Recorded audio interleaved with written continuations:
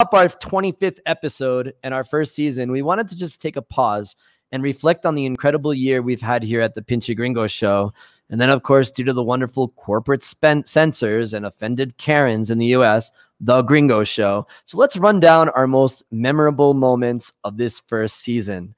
Early in the season, we invited the US ambassador to Mexico to come on the show, and he actually accepted. I even think his public affairs people were surprised and nervous as well. But the biggest surprise was when he showed up to the program in the best jacket ever that I think your jacket is going to be the star of the show today. Uh, everybody's been commenting on social media on, on our on our feed about it. So uh, take a picture of the ambassador, and I want you to use this hashtag ambassador jacket because I think that's the coolest ambassador jacket that we've ever had in the history of this show and, and anything else. So ambassador. You know, if you can't be cool, you might as well dress cool. That's my motto.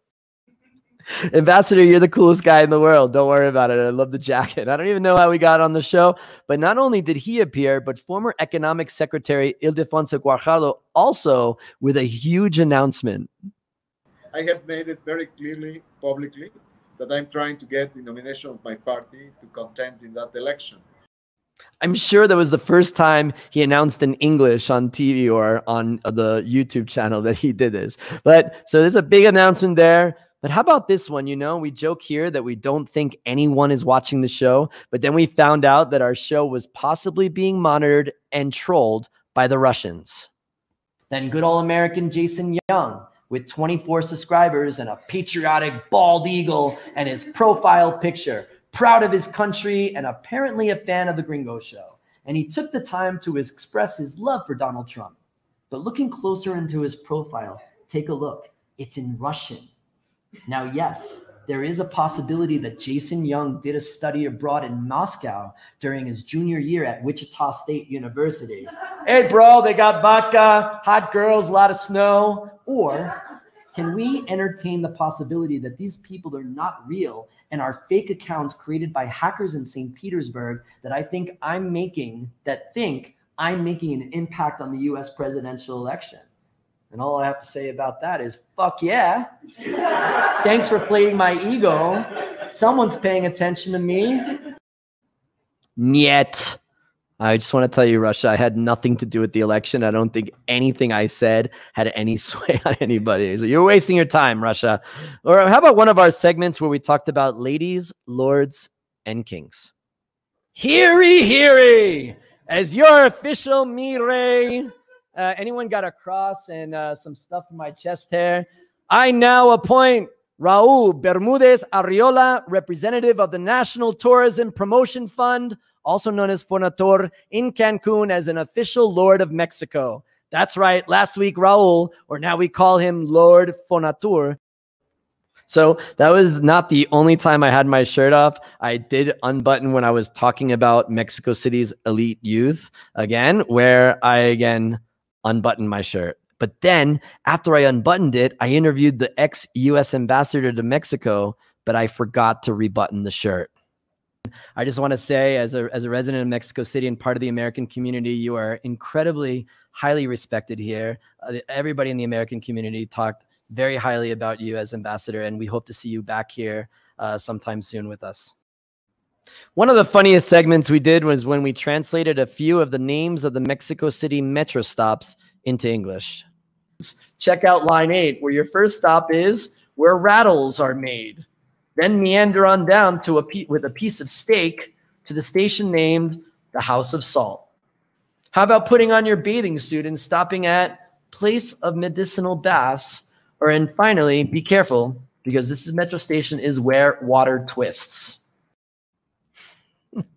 I don't even know what I was wearing. I think I was like dressed up to like a, a, 60s rock concerts or what I would have looked like if I was on a lot of coke. I don't know.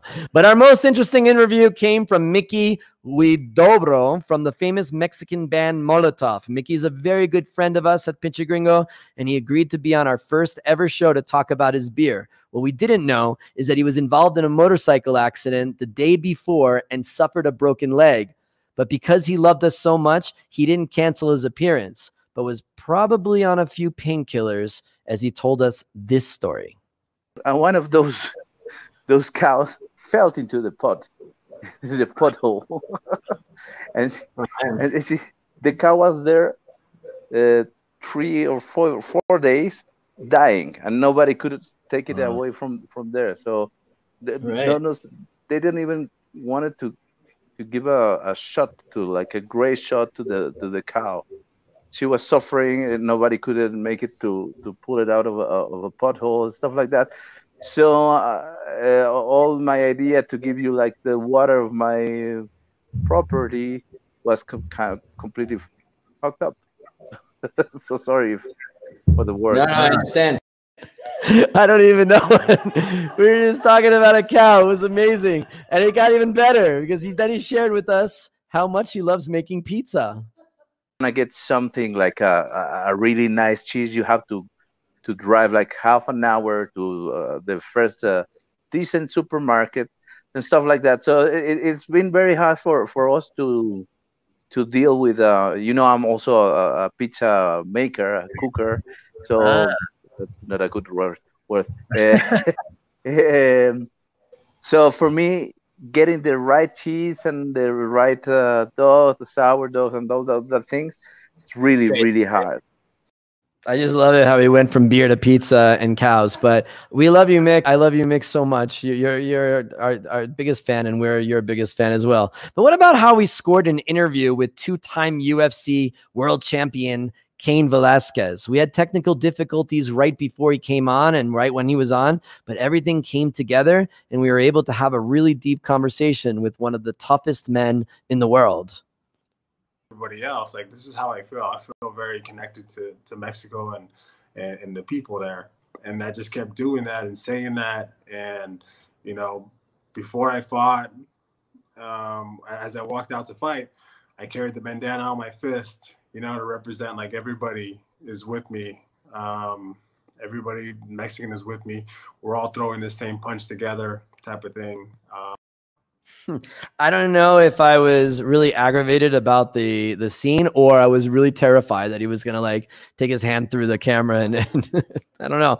But oh, and I definitely went on a few rampages about why people are so damn offended by the word pinche. Because to us, pinche means love. It means that you are close to someone and you give yourself just a little bit of humility so that we can move to a more equal level with our Mexican brothers and sisters. I pinche love you. And hashtag pinche is not a bad word. It's not a bad word. I've been trying to say this for a long time, but you know, the censors don't agree with me. But whatever. How about who has the best tacos in Mexico City? What is your favorite fresa taco, Mr. Fernando? I have to say Califa 100%. Califa. How about you, Maria? Yeah, I had to say Califa too. Califa. Are we agreed on this? Daniel Califa? Dante? I don't want to say Califa, but I think that Califa is a good fresa taqueria. I like Califa. I also like Orinoco. Shout out to my Monterrey brothers and sisters up there. Flour tortillas rule. Um, also, like I wanted to know uh, what Mexico City soccer team is the best.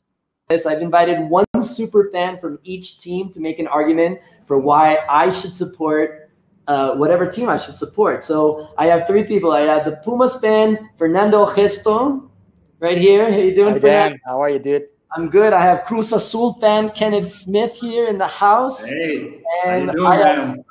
I have uh, Club America supporter Jose Manuel Mercado joining us on the show. So this Hey, is man. exciting. I have a lawyer, an economist, and a businessman. So this should be interesting. All right. I just realized that I'm wearing the same shirt as I wore on that episode because I, I try to wear different shirts every day and I totally failed on that one. But anyway, our probably one of the funniest segments, our final segment that'll show you cats and dogs playing Loteria. That fill all your board, and right after you Loteria! But if you don't yell, you can win, okay? El corazón, la campana, la rosa, el catrín, el melón. Uh, that's great. That's uh, that's my, my favorite skit. All right. So that is it for our first season of the